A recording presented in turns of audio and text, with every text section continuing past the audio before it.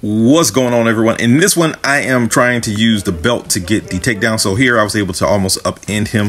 We get up and we re-engage here. And here I'm trying to grab the belt, but he gets the underhook on me. And so I have to, I'm still holding onto the belt. Now I stiff arm a little bit, trying to keep my head on his head per the instructions uh, by Professor Ga uh.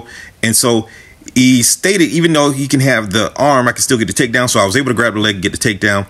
And so here I'm uh, weaving my hand through his thighs here, and I'm holding onto the pant. Usually I would stick it on the ground, especially if it was no gi.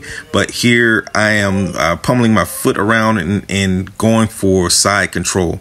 He's uh, trying to frame on me a little bit as I try to solidify my position here. And so uh, in just a, a few seconds, he's going to push out. And uh, as he pushes out, I have to uh, try to uh, re-establish side control again. All right, here it comes. Okay, and so now what I'm going for is an armbar where I'm going to grab his arm and take my right arm and wrap it around his left arm. And then I'm going to bring my knee close up to his shoulder area. It's then like a pigeon pose and get the armbar when he spins out. That's the tap. Peace.